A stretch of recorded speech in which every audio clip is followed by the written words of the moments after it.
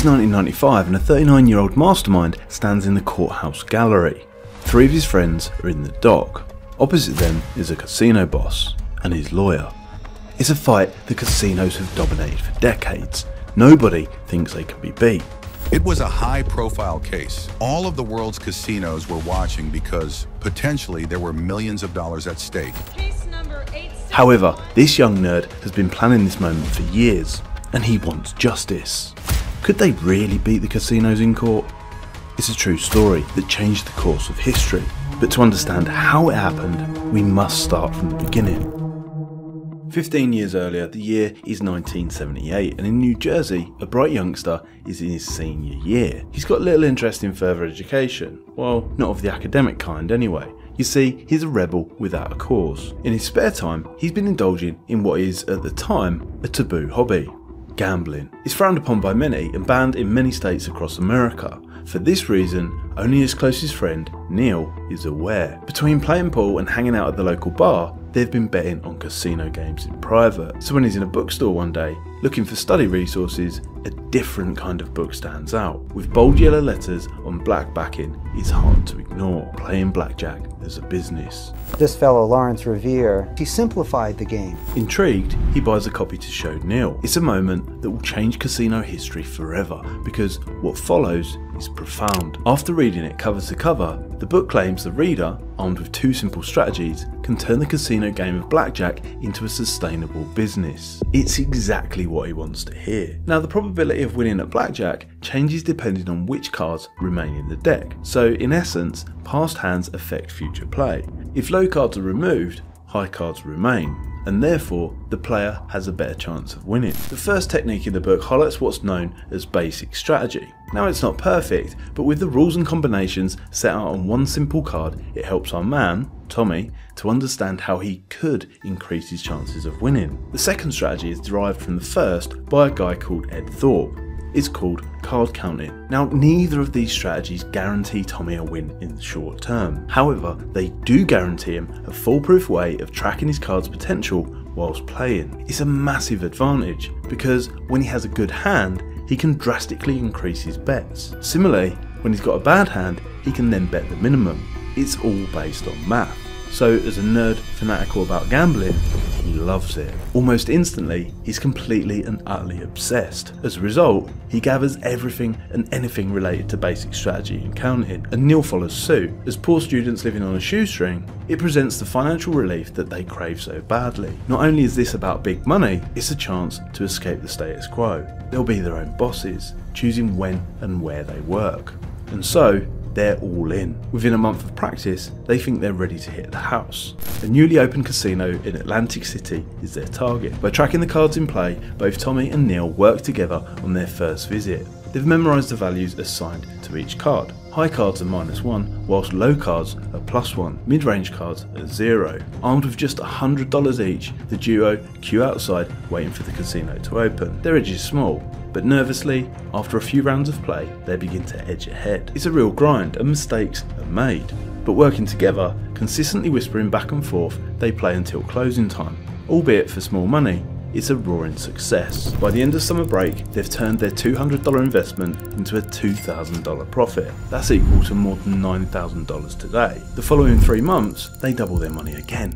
And by the end of their first year, they've banked a cool $25,000. Tommy Hyland has found his calling, and now he's dropped college altogether. But there is a problem. The casinos don't like losing, and now they're responding to card counters in the most aggressive manner. They brand card counters as cheats, and in some instances, there are stories of players being assaulted in the casino's backroom by security staff. We'll be sharing some of them on the channel in future, so please remember to subscribe. However, unbeknown to Tommy, a storm is brewing that will change everything he knows and believes in. And if you have your bets going up and down just as quickly as the advantage is going up and down, you are going to stick out. But Tommy Hyland doesn't care. He's too busy thinking about how he can scale up this operation. He wants to make more, a a lot more. And as he sees it, there's only one way to do it. By recruiting a team of players who can systematically beat the casino for millions and millions of dollars each year. He's thinking well ahead of his time. With 20 players operating in different casinos at the same time, it will work in their favour mathematically too. You see, by playing as many hands as possible, as quick as possible, with stakes coming out of one massive betting pool, variance and risk will be drastically reduced. And thanks to the casinos, he's already got the massive bankroll. He just needs the team. But where and how will he create this team? Players need to be smart, reliable, and trustworthy. Being a kid in the 1980s, he can only think of one place to look. Back home, Tommy hits up one of his oldest and most trusted friends, Chris. Without people he can trust, it will never work. He explains everything to Chris, from how counting works to where he got all his money from. The proposition is simple. Learn to play as part of the team, use the bankroll provided, and report your winnings honestly. Profits will be shared out periodically. It's a great proposition, with little risk and maximum upside so Chris accepts. A couple of months later, Tommy rents a small house just outside of Atlantic City. Inside, his group of misfits start to form. It's one of the world's first blackjack mastermind groups. Only the most enthusiastic, hand-picked card counters attend. With a 1.5% advantage, they're going to flip the casino's game on its head at scale. Now, one or two of the team members are anxious. The casinos aren't going to like this, and some of them have publicly said it's cheating. Some casinos do, in fact, think of the card counter as the a criminal, a bad guy. It's a statement that frustrates Tommy. How can it be cheating? Their advantage works just like the casinos, but they don't call that cheating. Plus, who are they to take an ethical position? They groom addicts, fill players with drinks, and incentivise them to lose every dollar they have. The injustice of their claims only motivate him to hit them even harder. Is his will against theirs? As a casino, we're a privileged private business, and we don't have to allow customers to play if we choose not to accept their play. The casino is starting to increase surveillance and intimidate patrons more and more. It works like this. A casino manager sits at the top of the pyramid. Below him, there are shift managers overseeing the pit bosses in charge of their own individual pits. Reporting back to them are floor managers working alongside surveillance staff watching the cameras. At the bottom, you've got each game's individual dealer. If just one of them should identify Tommy or his team members playing with an advantage, they'll be ejected from the casino. Not to mention the potential physical consequences. Savvy dealers are starting to shuffle up more regularly too. Quickly, Tommy realises this golden era for card counters isn't going to last forever. So the defiant nerd responds by doubling down on team training. Tucked away in their secret house, they spend hours counting under immense pressure. He's not willing to take a risk. If a team member can't count down a deck in less than 30 seconds or count without staring at the cards, they're not good enough. Casino dealers will spot them a mile off. It's a ruthless environment where only the best will last.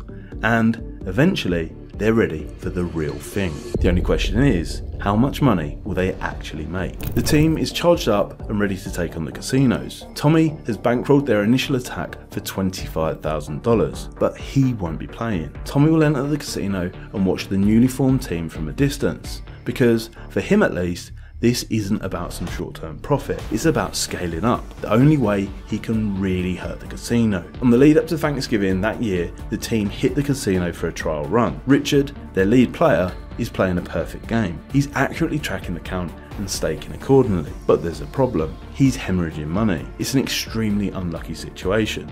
A bad run of short term luck is putting him on edge. And now, according to the strategy, it's time to increase his wages. With shaky hands, he tries to compose himself. In what feels like a crazy move, he doubles his stakes. The dealer busts. Frustration flips to elation. He's gone from several thousand dollars loss to a net profit for the first time, and it doesn't stop there. By the end of the first evening, the team have successfully banked more than $16,000. Adjusted for inflation, that's $61,000 in today's money. Back at the house, Tommy eagerly runs the numbers.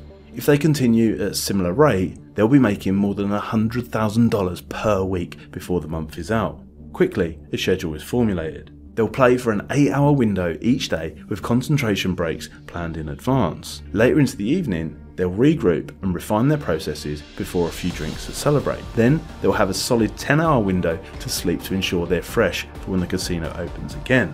And it works like a dream for months. Although, unknown to them, their play is raising eyebrows. casino staff are starting to pay more and more attention, especially when they're losing $400,000 a month. And unlike Tommy and his friends, they have no intention of playing fair. One night in 1982, Tommy's identified by casino security. It leads to an explosive bust up in front of other players. It's a battle that he can't win. Eventually, he's thrown out and banned for life. After all of his hard work, he's fuming. As he sees it, he's done nothing wrong. He's been playing well within the casino's rules. This new reality presents him at a distinct crossroads quit while he's ahead, or fight back even harder. The injustice is overwhelming, and the rebel within will only allow one thing option 2 the following year, a New Jersey court reaches a decision in a similar case. As long as a player is conducting themselves in a reasonable way, the casinos have no right to ban a player for skilled play. The casinos, however, have a different opinion.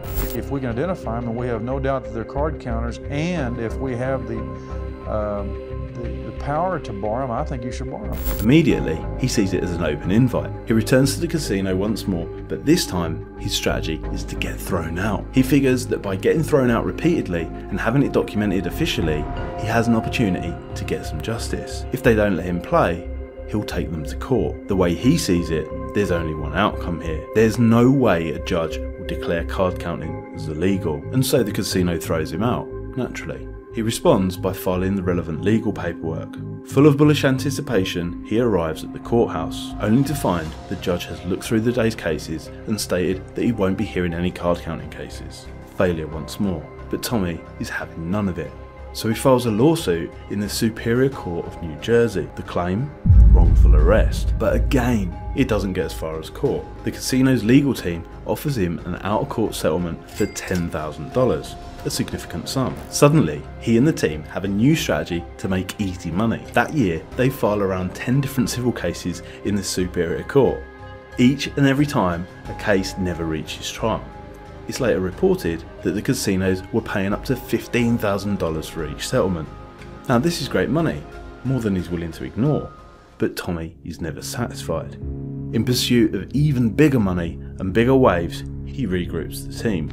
2,534 miles away, Tommy's team touches down in Las Vegas. They're going to hit Sin City hard and fast. With a $200,000 pot to play with, they can play big and ensure there's minimal risk. Multiple players playing multiple hands means less variance in results. Within one month, they're already over $100,000 in profit. In two months, they're at $200,000. Beating Vegas is harder than Atlantic City, but Hyland's team is on fire. At this rate, they can only fly under the radar for so long. Tommy is the first to get found out, and it doesn't end well. Treated like a common cheat, he's dragged into the back room. They take his photo, beat him up, and roll him down a set of stairs out the back of the casino. In Vegas, they've started to collect the photos of anyone they consider a threat. The photos are kept in an active catalogue created by Griffin Investigations.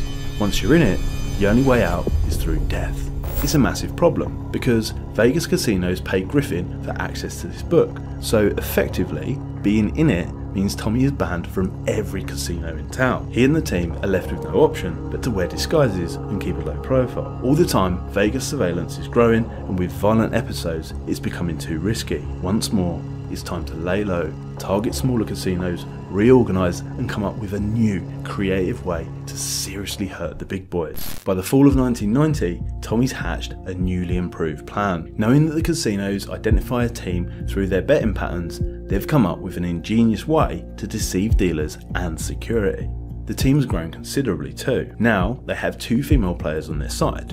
In a male dominated environment where women are rarely suspected of advantage play, it's a smart move. Their new approach works like this. Team members will sit at the table, but they will now be accompanied by one of the women, posing as their partner. Whilst Tommy's team member is keeping track of the running count, their partner will be using a different technique known as ace tracking. Past experience has taught them that casinos identify card counters through their betting patterns. So, by adding an additional element to their strategy, it mixes up the betting patterns and enhances their bottom line. When the women want to identify an advantage within a fluctuating deck, they'll nudge the counter under the table. If it's an extreme advantage, they'll do it twice. It's two strategies rolled into one, and it leaves the casinos confused. For three whole years, they beat the casinos in multiple locations with this strategy, and come 1994, more and more casinos are opening up. But as we know, These opportunities rarely last forever. Something is about to go horribly wrong. Over the years, the team have come to learn a new casino is a ripe opportunity. For management, it's tough enough on launch week. Card counters are low on their priority list. For this reason, Tom and his friends deliberately target them. And in Ontario, a new casino is about to open its doors for the first time. When it does, they enter. Sitting at a brand new blackjack table, they ramp up the stakes. They've done this thousands of times now. Richard receives a double nudge to his right knee, maximum stakes. They're raking it in, and then it happens. He looks to his left. Hey Richard, I think we're all done at this table now, aren't we? His blood runs cold. The man has a familiar face. The new casino has hired one of Vegas's most experienced floor managers. They know each other well. Worse still, he's been watching those nudges under the table. An hour later, Richard and several others are in jail. They stand accused of illegally cheating the casino with the bail set at $20,000. Back in Vegas, Tommy receives the news. How many times can this happen? With his friends on the line and an opportunity to make a point, a very public point, there's only one option. He tells Richard over the phone. We'll see this in court, and when their day in court comes, it's a very public affair. More public than even they had anticipated. The casinos want card counting to be officially branded as cheating. They call experts to the stand one after another. My take as an expert witness on the thing was to say that yes, they were indeed card counting, shuffle tracking, ace locating.